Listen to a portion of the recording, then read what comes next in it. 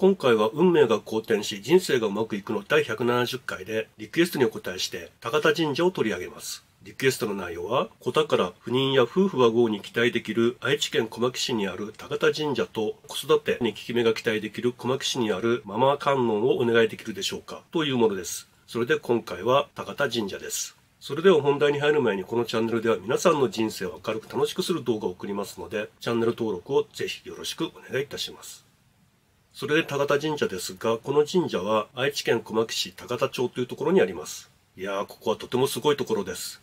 これこそが本来の日本の神様ですね。まあ僕なんかは大いに照れてしまいます。ご祭神は水戸市の神様と玉姫の御事様です。ご利益は水戸市の神様が諸産業流昇、家内安全、開運、女性承福、夫婦和合、縁結び、厄除け、子宝金運となっています。そして玉姫の御事様が子宝開拓子育て教育となっています。なお、愛しの神様は一般的にはお正月にやってくる神様ですね。それではまず最初に高田神社のご利益のエネルギーです。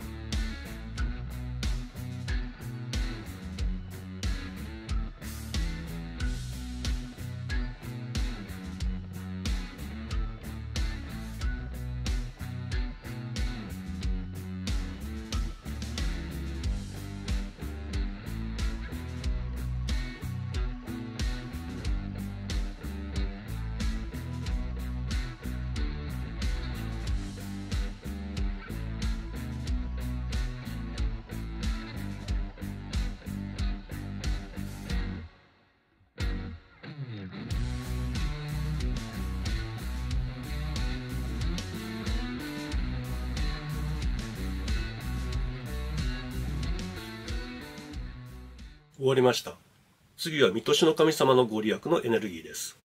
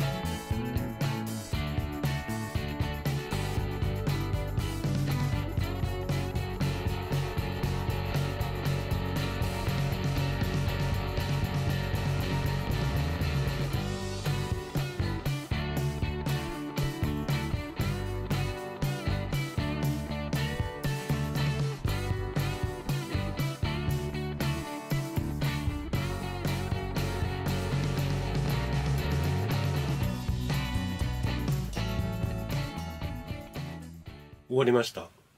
次は玉姫の御様のご利益のエネルギーです。